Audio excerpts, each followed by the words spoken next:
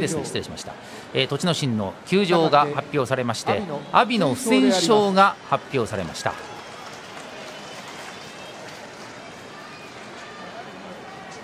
栃ノ心が肩とそして膝の怪我によりまして、はい、今日から休場となっています。来場所はこれで栃ノ心はまた角番ということになりましてまあ厳しい場所になりそうですね。まあ本当巡業で一生懸命稽古やってましたけどねやっぱりこう怪我には勝てないし、うん、怪我もねこれ運勝負のうちですから、はい。まあ、この阿炎さんも今日ねこうやって不戦勝でね勝ちましたけど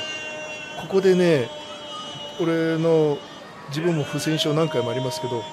次の日ね、うん、負けるのがね結構多いんですよ、はい、緊張を切らせなかったらいいんですけど自分結構落としてるんですよ不戦勝の後は。集中力をうまくキープすることが大事なんですね。そうです。阿炎は戦勝となりまして2勝4敗です。